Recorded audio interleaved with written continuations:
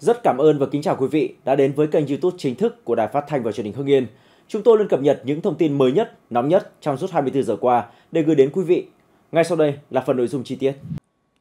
Trình danh sách đề cử bầu chủ tịch nước. Hôm nay 21 tháng 5, Ủy ban Thường vụ Quốc hội trình danh sách đề cử để Quốc hội bầu chủ tịch nước. Theo chương trình kỳ họp thứ 7 Quốc hội khóa 15, vào cuối giờ chiều nay 21 tháng 5, Quốc hội họp riêng về công tác nhân sự. Ủy ban Thường vụ Quốc hội sẽ trình danh sách đề cử Quốc hội bầu chủ tịch nước sau đó thảo luận tại đoàn về danh sách đề cử để Quốc hội bầu Chủ tịch nước.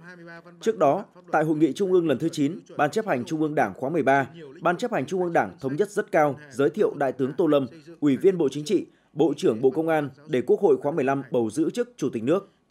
Theo chương trình, vào sáng ngày 22 tháng 5, Ủy ban Thường vụ Quốc hội báo cáo về việc giải trình, tiếp thu ý kiến đại biểu Quốc hội, thảo luận tại đoàn về danh sách đề cử để Quốc hội bầu Chủ tịch nước nếu có. Quốc hội thảo luận, biểu quyết thông qua danh sách để bầu Chủ tịch nước. Quốc hội bầu Chủ tịch nước bằng hình thức bỏ phiếu kín. Tiếp đó, Ban kiểm phiếu làm việc, Ban kiểm phiếu báo cáo kết quả kiểm phiếu. Ủy ban Thường vụ Quốc hội trình Quốc hội dự thảo nghị quyết bầu Chủ tịch nước, sau đó Quốc hội thảo luận biểu quyết thông qua nghị quyết bầu Chủ tịch nước. Sau khi nghị quyết bầu Chủ tịch nước được Quốc hội thông qua, Chủ tịch nước tuyên thệ và phát biểu nhậm chức. Chương trình phiên họp ngày 21 tháng 5 năm 2024. Chương trình phiên họp buổi sáng, Ủy viên Ủy ban Thường vụ Quốc hội, chủ nhiệm Ủy ban Quốc phòng và An ninh của Quốc hội trình bày báo cáo giải trình, tiếp thu, chỉnh lý dự thảo luật đường bộ tối đa 20 phút.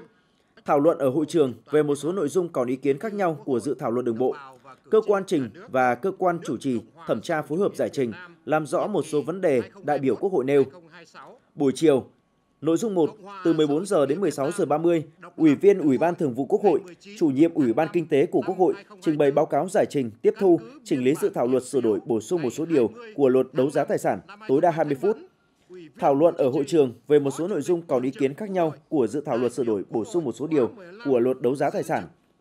Cơ quan trình và cơ quan chủ trì thẩm tra phối hợp giải trình làm rõ một số vấn đề đại biểu Quốc hội nêu. Nội dung 2, từ 16 giờ 30, Quốc hội họp riêng – Ủy ban Thường vụ Quốc hội trình Quốc hội danh sách đề cử Quốc hội bầu Chủ tịch nước, thảo luận tại đoàn về danh sách đề cử Quốc hội bầu Chủ tịch nước. Thông cáo báo chí số 1 kỳ họp thứ 7 Quốc hội khóa 15. Vào ngày hôm qua thứ hai ngày 20 tháng 5 năm 2024, kỳ họp thứ 7 Quốc hội khóa 15 chính thức khai mạc và bước vào ngày làm việc đầu tiên tại nhà Quốc hội, thủ đô Hà Nội. Buổi sáng 7 giờ 15 phút, các vị đại biểu Quốc hội đặt vòng hoa và vào lăng viếng Chủ tịch Hồ Chí Minh. 8 giờ, Quốc hội họp phiên chủ bị Quốc hội nghe Phó Chủ tịch Thường trực Quốc hội điều hành hoạt động của Quốc hội, Ủy ban Thường vụ Quốc hội Trần Thanh Mẫn phát biểu, nghe Ủy viên Ủy ban Thường vụ Quốc hội, Tổng thư ký Quốc hội, Chủ nhiệm Văn phòng Quốc hội Bùi Văn Cường báo cáo tiếp thu, giải trình, chỉnh lý dự kiến chương trình kỳ họp thứ 7 Quốc hội khóa 15, thảo luận và biểu quyết thông qua chương trình kỳ họp thứ 7 Quốc hội khóa 15 với tỷ lệ tán thành rất cao. Nghe Ủy viên Ủy ban Thường vụ Quốc hội, trưởng ban công tác đại biểu thuộc Ủy ban Thường vụ Quốc hội Nguyễn Thị Thanh trình bày báo cáo của Ủy ban Thường vụ Quốc hội về việc cho thôi làm nhiệm vụ đại biểu Quốc hội khóa 15 đối với bà Trương Thị Mai thuộc đoàn đại biểu Quốc hội tỉnh Hòa Bình. 9 giờ, Quốc hội họp phiên khai mạc, Quốc hội làm lễ chào cờ, Quốc hội nghe Tổng thư ký Quốc hội Bùi Văn Cường tuyên bố lý do giới thiệu đại biểu tham dự kỳ họp thứ 7 Quốc hội khóa 15. Phiên họp có sự tham dự của các đồng chí lãnh đạo, nguyên lãnh đạo Đảng, Nhà nước, Mặt trận Tổ quốc Việt Nam, đại diện lãnh đạo của các ban, bộ ngành trung ương và trưởng các cơ quan đại diện ngoại giao của nước ngoài và tổ chức quốc tế tại Hà Nội. Dưới sự điều hành của Phó Chủ tịch Quốc hội Nguyễn Khắc Định, Quốc hội nghe Phó Chủ tịch Thường trực Quốc hội điều hành hoạt động của Quốc hội, Ủy ban Thường vụ Quốc hội Trần Thanh Mẫn phát biểu khai mạc kỳ họp thứ 7 Quốc hội khóa 15. Phó Thủ tướng Chính phủ Lê Minh Khái thừa ủy quyền của Thủ tướng Chính phủ trình bày báo cáo đánh giá bổ sung kết quả thực hiện kế hoạch phát triển kinh tế xã hội và ngân sách nhà nước năm 2023, tình hình thực hiện kế hoạch phát triển kinh tế xã hội và ngân sách nhà nước những tháng đầu năm 2024 chủ nhiệm Ủy ban Kinh tế của Quốc hội Vũ Hồng Thanh trình bày báo cáo thẩm tra, đánh giá bổ sung kết quả thực hiện kế hoạch phát triển kinh tế xã hội và ngân sách nhà nước năm 2023, tình hình thực hiện kế hoạch phát triển kinh tế xã hội và ngân sách nhà nước những tháng đầu năm 2024. Chủ tịch Ủy ban Trung ương Mặt trận Tổ quốc Việt Nam Đỗ Văn Chiến trình bày báo cáo tổng hợp ý kiến, kiến nghị của cử tri và nhân dân gửi đến kỳ họp thứ 7 Quốc hội khóa 15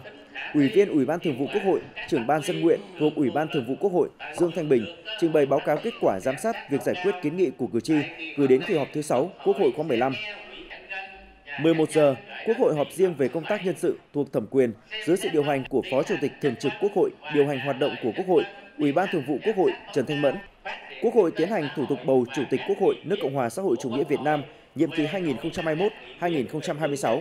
Quốc hội nghe Phó Chủ tịch Quốc hội Nguyễn Khắc Định thay mặt Ủy ban Thường vụ Quốc hội trình bày tờ trình về việc bầu Chủ tịch Quốc hội nước Cộng hòa xã hội chủ nghĩa Việt Nam nhiệm kỳ 2021-2026. Sau đó, Quốc hội tiến hành thảo luận ở đoàn về dự kiến nhân sự Chủ tịch Quốc hội nước Cộng hòa xã hội chủ nghĩa Việt Nam nhiệm kỳ 2021-2026. Buổi chiều, Quốc hội họp riêng về công tác nhân sự thuộc thẩm quyền. Từ 14 giờ, dưới sự điều hành của Phó Chủ tịch Quốc hội Nguyễn Khắc Định, Quốc hội tiến hành thủ tục bầu Chủ tịch Quốc hội nước Cộng hòa xã hội chủ nghĩa Việt Nam nhiệm kỳ 2021-2026. Quốc hội nghe Tổng thư ký Quốc hội Bùi Văn Cường trình bày báo cáo kết quả thảo luận tại đoàn về việc bầu Chủ tịch Quốc hội nước Cộng hòa xã hội chủ nghĩa Việt Nam nhiệm kỳ 2021-2026. Quốc hội tiến hành thảo luận và biểu quyết thông qua danh sách bầu Chủ tịch Quốc hội đối với ông Trần Thanh Mẫn bằng hình thức biểu quyết điện tử. Kết quả, có 474 đại biểu tham gia biểu quyết bằng 97,33% tổng số đại biểu Quốc hội, trong đó có 474 đại biểu tán thành bằng 97,33% tổng số đại biểu Quốc hội, bằng 100% đại biểu Quốc hội có mặt. Quốc hội tiến hành bỏ phiếu kín bầu Chủ tịch Quốc hội nước Cộng hòa xã hội chủ nghĩa Việt Nam nhiệm kỳ 2021-2026 đối với ông Trần Thanh Mẫn. Quốc hội họp phiên toàn thể tại hội trường dưới sự điều hành của Phó Chủ tịch Quốc hội Nguyễn Đức Hải. Quốc hội nghe Bộ trưởng Bộ Tài chính Hồ Đức Phước, thưa ủy quyền của Thủ tướng Chính phủ, trình bày báo cáo về công tác thực hành tiết kiệm, chống lãng phí năm 2023. Chủ nhiệm Ủy ban Tài chính Ngân sách của Quốc hội Lê Quang Mạnh trình bày báo cáo thẩm tra về công tác thực hành tiết kiệm, chống lãng phí năm 2023. Quốc hội họp riêng về công tác nhân sự thuộc thẩm quyền dưới sự điều hành của Phó Chủ tịch Quốc hội Nguyễn Khắc Định. Quốc hội nghe ban kiểm phiếu báo cáo kết quả kiểm phiếu bầu Chủ tịch Quốc hội nước Cộng hòa xã hội chủ nghĩa Việt Nam nhiệm kỳ 2021-2026 đối với ông Trần Thanh Mẫn. Quốc hội họp phiên toàn thể tại hội trường về công tác nhân sự thuộc thẩm quyền. Dưới sự điều hành của Phó Chủ tịch Quốc hội Nguyễn Khắc Định, Quốc hội nghe Tổng thư ký Quốc hội Bùi Văn Cường trình bày dự thảo nghị quyết của Quốc hội về việc bầu Chủ tịch Quốc hội nước Cộng hòa xã hội chủ nghĩa Việt Nam nhiệm kỳ 2021-2026 đối với ông Trần Thanh Mẫn. Quốc hội biểu quyết thông qua nghị quyết bầu Chủ tịch Quốc hội nước Cộng hòa xã hội chủ nghĩa Việt Nam nhiệm kỳ 2021-2026 bằng hình thức biểu quyết điện tử.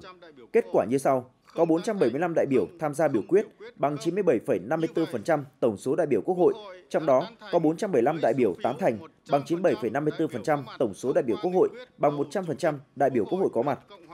15 giờ 15 phút, Chủ tịch Quốc hội Trần Thanh Mẫn tiến hành thủ tục tuyên thệ và phát biểu nhậm chức. Quốc hội họp phiên toàn thể tại hội trường dưới sự điều hành của Phó Chủ tịch Quốc hội Trần Quang Phương. Quốc hội nghe Bộ trưởng Bộ Công an Tô Lâm thừa ủy quyền của Thủ tướng Chính phủ trình bày tờ trình về dự án luật quản lý sử dụng vũ khí, vật liệu nổ và công cụ hỗ trợ sửa đổi.